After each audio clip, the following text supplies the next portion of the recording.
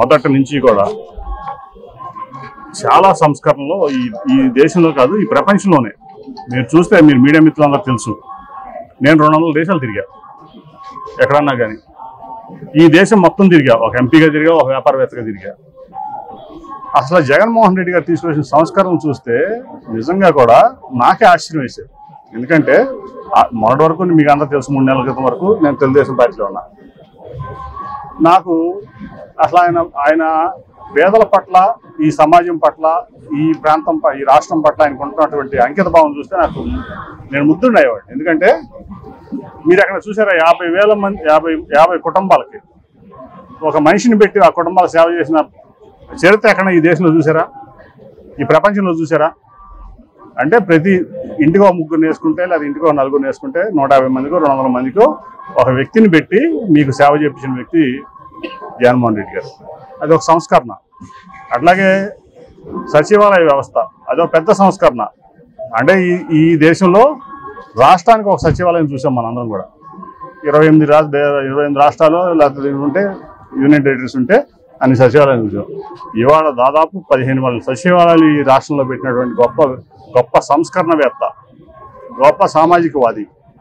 ఇవాళ మన ముఖ్యమంత్రి జగన్మోహన్ రెడ్డి గారు. అంటే ఈ వాలంటీర్ వ్యవస్థ అవనండి లేకపోతే ఈ సచివాలయ వ్యవస్థ అవనండి దీని ద్వారా నాలుగు లక్షల మందికి ఉద్యోగాలు ఇచ్చారు. ప్రజలకు సేవ చేయమని ప్రతి ఇంటికి పెట్టారు. అట్లాగే వెల్త్ హెల్త్ క్లినిక్లు నేను ముఖ్యంగా పల్లెటూరులో వెళ్తాంటే పాత రోజుల్లో పాము కాటనో లేకపోతే అదని చాలా ఇబ్బంది పడేవాడు ఎక్కడికి వెళ్ళాలి తెలియక.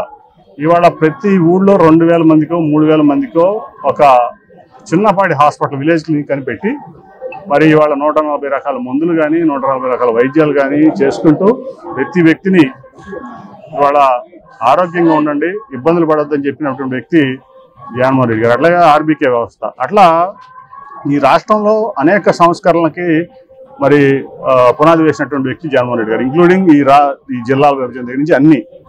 సో ఆ ప్రాసెస్లో మొదటి నుంచి కూడా చంద్రబాబు నాయుడు అనుకో ఈ సుజనా చౌదరి ఈ కామినేని శ్రీనివాసు ఈ ఏదైతే చంద్రబాబు నాయుడు లోకేష్ పవన్ కళ్యాణ్ అట్లాగే ఒక మాజీ ఎలక్షన్ కమిషనర్ మీ అందరికి తెలుసు. వీళ్ళందరూ ఈ వాలంటీర్ వ్యవస్థ మీద మొదటి నుంచి కూడా విషం విషం చిమ్ముతున్నారు ఇవాళ నిజంగా కూడా నిన్న నిన్న నిన్న ఏప్రిల్ ఫస్ట్ నెల మొదటి రోజు ఐదింటికో నాలుగింటికో వాలంటీర్ తలుపు కొట్టి పెన్షన్లు పెద్దవాళ్ళకి పెన్షన్లు ఇచ్చి వెళ్తున్నటువంటి పరిస్థితి నిన్న మేము ప్రశాంత్ నిన్న ఇవాళ ప్రశాంత్కి వెళ్తుంటే ప్రతి ఒక్కళ్ళు కూడా బాధపడుతున్నారు. మాకు వాలంటీర్ రాలేదు. మా ఇంటికి పెన్షన్ రాలేదు. అట్లాగే ఏ మాకు మందులకి వాటికి డబ్బులు అయిపోయినాయి. మేమేం చేయాలని పెద్దవాళ్ళంతా కూడా బాధపడుతున్నారు. వీటన్నిటికీ ఇంత కుట్రకి కారణం ఈ చంద్రబాబు నాయుడు పవన్ కళ్యాణ్ ఈ సుజనా చౌదరి ఈ కామినేని శ్రీనివాసు ఏదైతే మాజీ ఎలక్షన్ కమిషనర్ ఉన్నారో వీళ్ళందరూ కూడా కారణం. వీళ్ళు కక్ష కట్టి మొదటి నుంచి కూడా వాలంటీర్ వ్యవస్థ మీద విషం చింపుతున్నారు. ఇవాళ చూపించారు.